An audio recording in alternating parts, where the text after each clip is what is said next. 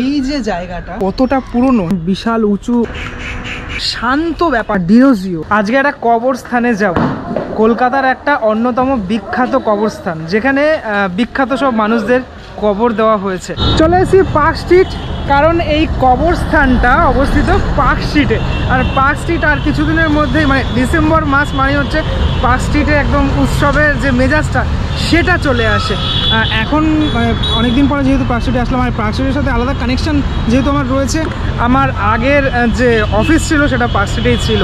তো এবার যেতে হবে এই দিকে মানে যেই দিকে আমরা এমনি হাঁটি পঁচিশে ডিসেম্বরে, সেই দিকটাতেই যেতে হবে। এটা চলে গেছে মেন রাস্তাটা, আর আমি হাঁটছি হচ্ছে তোমার ওই ফুটপাথ থেকে, আমি যখনই হাঁটি তখন মেন রাস্তা দিয়ে হাঁটি না ফুটপাথ থেকেই হাঁটি। এটা হচ্ছে অ্যালেন পার্ক। অ্যালেন পার্কের সামনের এই যে রাস্তাটা, এই রাস্তা দিয়ে সোজা বেরিয়ে যেতে হবে। আর পঁচিশে ডিসেম্বর নিশ্চয়ই সবাই জানো যে এই অ্যালেন পার্কে সকলে আসেন। অ্যালেন পার্কে মানে বড় বড় প্রোগ্রাম যে, সেগুলো হয়ে থাকে পঁচিশ ডিসেম্বর উপলক্ষে। পার্কটা অনেকটাই বড়। আর এই পার্কের সাথে সাথে এই মানে যে ফুটপাথটা এই ফুটপাথটাও বেশ হাঁটতে বেশ ভালো লাগে, কেননা চারিদিকে এত গাছ রয়েছে।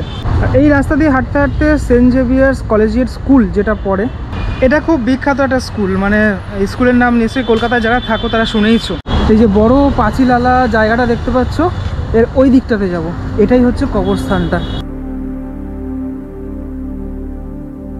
ফাইনালি ভিতরে আমি ঢুকে গেছি ঢোকার, এখানে ঢোকার জন্য মানে কুড়ি টাকা হচ্ছে। এমনি টিকিটের দাম, আর যদি ক্যামেরা থাকে তোমাদের কাছে, তাহলে লাগবে হচ্ছে পঞ্চাশ টাকা, যেটা আমার লেগেছে। এটা হচ্ছে গেটটা মানে ঢোকার একদম গেটটা, এখান থেকেই ঢুকতে হয়, ওখান থেকে টিকিট কাটতে হয়। এই যে রাস্তাটা গেছে, এটা হচ্ছে ডিরোজিও পথ, লেখা রয়েছে ডিরোজিও ওয়ে।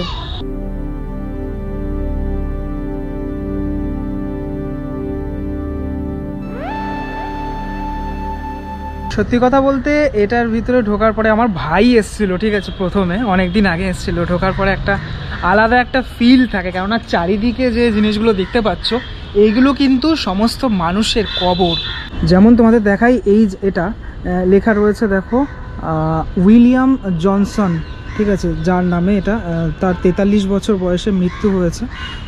এখানে লেখা রয়েছে, ফোর্থ মে সতেরোশো নিরানব্বই সালের সেই কবর কিন্তু এখানে রয়েছে। অনেক এরকম কবর রয়েছে। এটা যেরকমটা দেখাই, এখানেও একজনের কবর। আঠেরোশো নয় সাল, ঠিক আছে? মানে কতটা পুরনো? এটা কতটা পুরনো? সেটা তোমরা এইগুলো দেখেই বুঝতে পারছ। চারিদিকে এরকম কবর রয়েছে। আর এই যে জায়গাটা, এই জায়গাটার নাম হচ্ছে মানে এটা আমি তো তোমাদেরকে বললাম কবরস্থান। অ্যাকচুয়ালি এই জায়গাটার নাম হচ্ছে পার্ক স্ট্রিট সিমেট্রি। টোটাল জায়গা জুড়ে এরকম বিভিন্ন কবরে ঘেরা রয়েছে।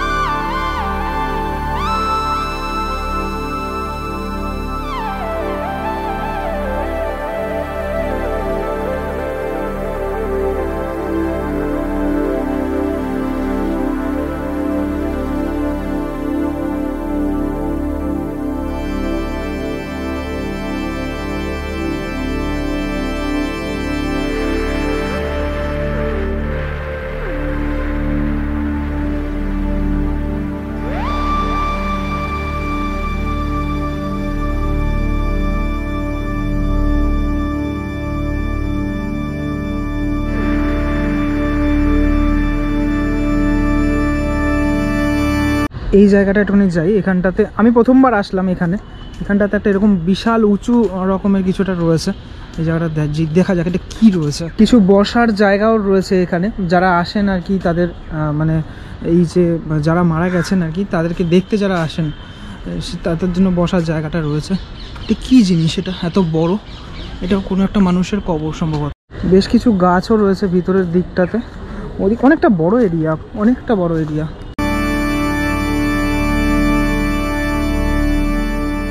এই দিকটাতে জঙ্গল ছিল, সেই জঙ্গলগুলো এখন পুরোপুরি সাফ করে দেওয়া হয়েছে।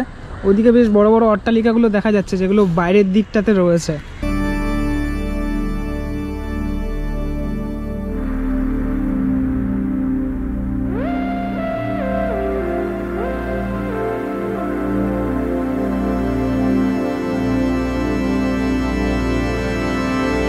স্যার উইলিয়াম জনস কে এন টি কিছুটা লেখা রয়েছে। ডায়েড অন দ্য সাতাশে এপ্রিল সতেরোশো চুরানব্বই খ্রিস্টাব্দে উনি মারা গিয়েছিলেন। এটা হচ্ছে তার যে এটা কবরস্থানটা কবরটা তার, এইটা তার। মানে বিশাল বড় যেটা আমি দেখালাম তোমাদের। এখানেও বেশ কিছু জিনিসপত্র লেখা রয়েছে। অনেকগুলো অনেক পাখি রয়েছে, যেহেতু এখানে অনেক গাছ রয়েছে। আর মেনটেনও করা হয়, কেননা এই গাছগুলোর ডালগুলো কাটা দেখতে পাচ্ছি।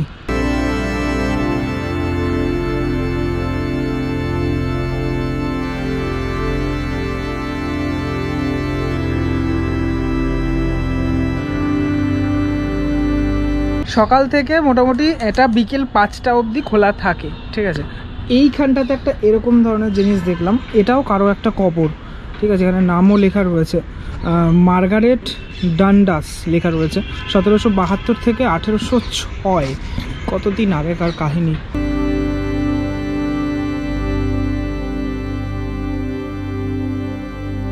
কিছু একটা ডাকছে এখানে, ঠিক আছে? কাক তো না, অন্য কিছু একটা ডাকছে।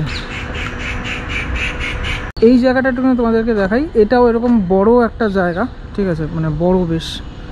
এটাও একটা কারও একটা কবর। নামটা এই সামনে গেলে দেখা যাবে। এরকম একটা সরু গলি চলে গেছে। সেই গলি দিয়ে গেলে মানে আরও এখানে অনেকটা কবর। মানে এইদিকে বেশ বড় বড় মাপের, ছোট মাপের, বিভিন্ন মাপের কবর। ঘড়িতে সময় এখন চারটে ছাব্বিশ। মানে পাঁচটা বাজলেই এখন শীতকালের সন্ধ্যা হয়ে যায়। কিন্তু ভিতরে, এই ভিতরটাতে আমি এখন যেই জায়গাটাতে দাঁড়িয়ে রয়েছি, সেখানে গাছগুলো ঠিক এমনইভাবে মানে রয়েছে, কিন্তু এখানটা কিন্তু আলোটা অনেকটা কম পৌঁছাচ্ছে। ঠিক আছে? চারিদিকটাতে মানে একটা নির্ঝুম পরিবেশ, এটুকু বলতে পারি। তবে একটা শান্ত ব্যাপার আছে এখানটাতে।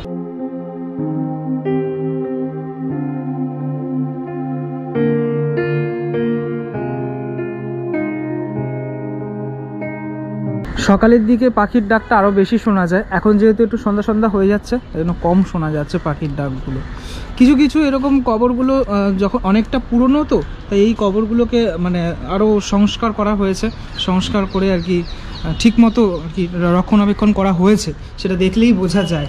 এটা যেরকম যেটা আমি সামনে দাঁড়িয়ে রয়েছি, এটা কিন্তু নতুন একটা, সেটা দেখলেই বোঝা যাচ্ছে।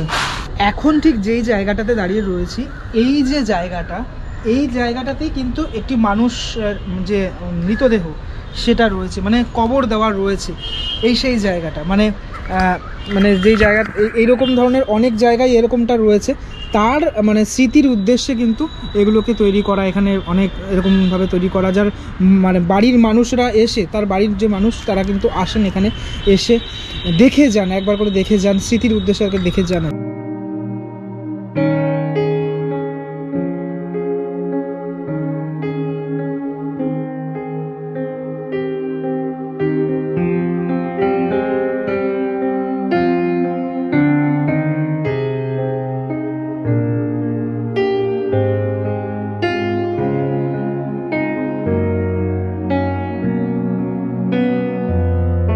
হাঁটতে হাঁটতে আবার যেখান থেকে ঢুকেছিলাম, সেই রাস্তাটাতে চলে এসেছি। এবার এই সোজাটা, সোজা রাস্তাটাতে যাব।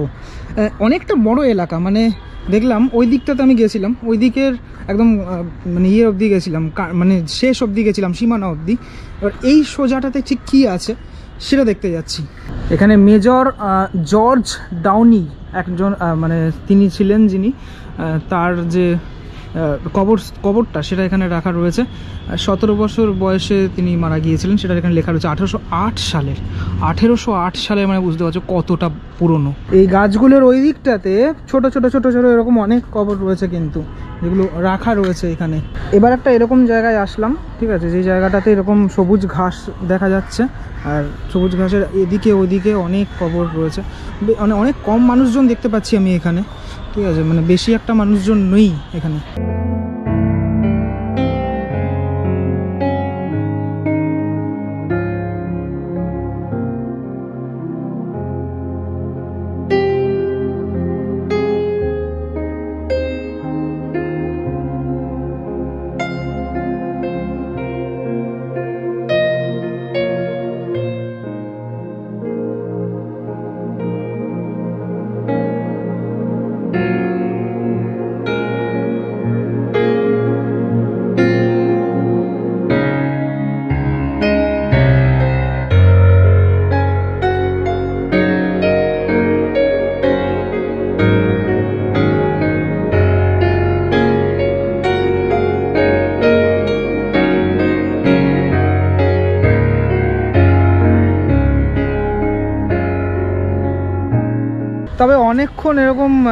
বিভিন্ন গাছের মাঝখান থেকে যেতে যেতে এই সবুজ জায়গাটা দেখে বেশ ভালো লাগল, যে জায়গাটা অনেকটা মানে ফাঁকা এই জায়গাটা।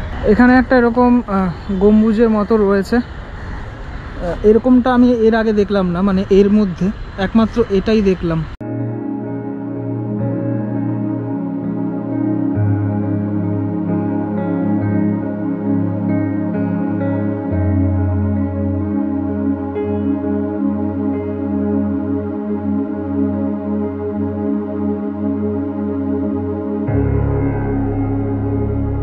তবে অনেকেই এখানে এসে ভয় পান, ঠিক আছে? ভয় পাওয়ার কোনো কিছু নেই সেরকমটা, কিন্তু ব্যাপারটা হচ্ছে এই কবরগুলো রয়েছে যেহেতু এখানে, তাই জন্য অনেকে ভয় পেয়ে থাকেন।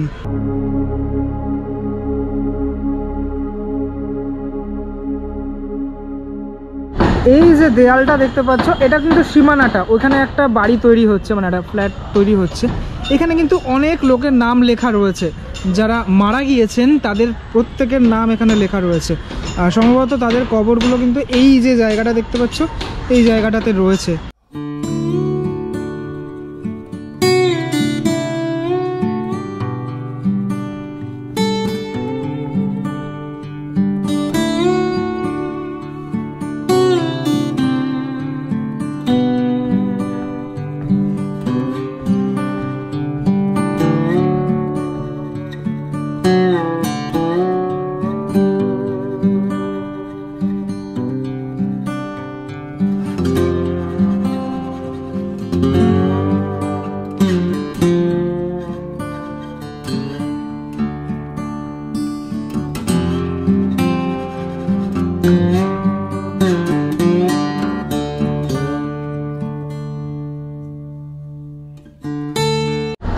গাছ রয়েছে, এটা বলতে হবে। মানে সবুজে ঘেরা টোটাল জায়গাটা। যার জন্য মানে সূর্যের আলো পৌঁছাতে কিছুটা হলেও দেরি হয়।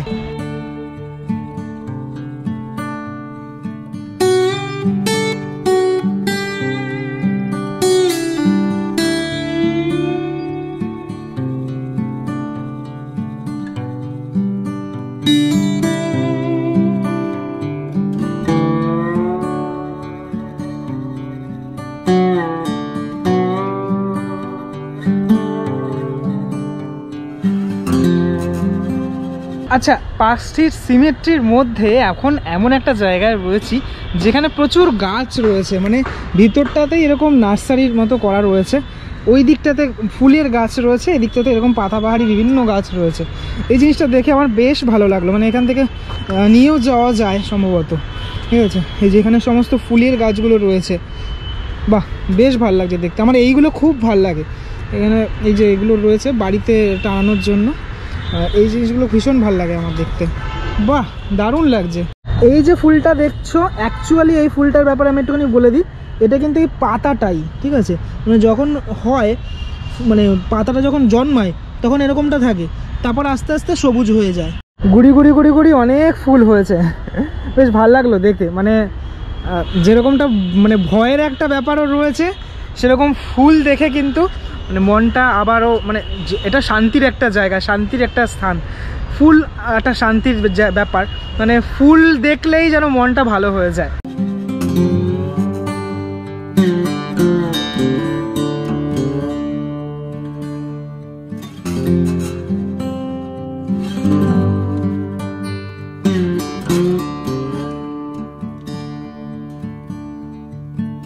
ফাইনালি পেয়ে গেছি ডিরোজিও।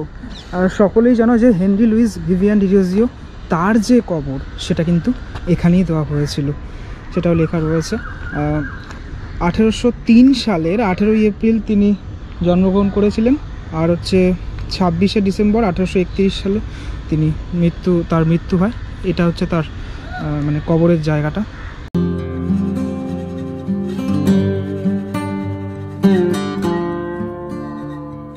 এখানে ডিরোজিওর একটি মূর্তিও কিন্তু রাখা রয়েছে। এরকম একটা এরকম রয়েছে এখানে। এটা আমাদের ডিরোজিও কলেজ। আমি যে কলেজ থেকে পাস আউট সেই কলেজটার সামনেটাও কিন্তু এরকমটা ঠিক আছে? এটা এখানে রয়েছে। অনেকটা ভেঙেও গেছে ওপরের দিকটা। পাঁচটা বাজতে যায়, আর অনেকটাই এখন মানে আকাশের যে আলোটা, সেই আলোটা অনেকটাই কমে এসছে। তো যাই হোক, এবারে এক্সিট গেটের দিকে যাওয়া যাক। এখানটাতে আরও এরকম দুটো দেখলাম, ঠিক আছে, কারোর স্মৃতির উদ্দেশ্যেই এগুলো বানানো। তবে একটা জিনিস আমি তোমাদেরকে বলে রাখি, এখানে এসে মানে এই শান্ত পরিবেশটা আমার দারুণ লাগল। এখন থেকে মাঝে মাঝে আসার মানে একটা প্ল্যান আছে এখানে। তোমাদের কেমনটা লাগল? আর এই জায়গাটা আগে এসছো নাকি আমাকে জানাতে পারো। পরবর্তী ব্লগে দেখা হচ্ছে খুব শিগগিরই।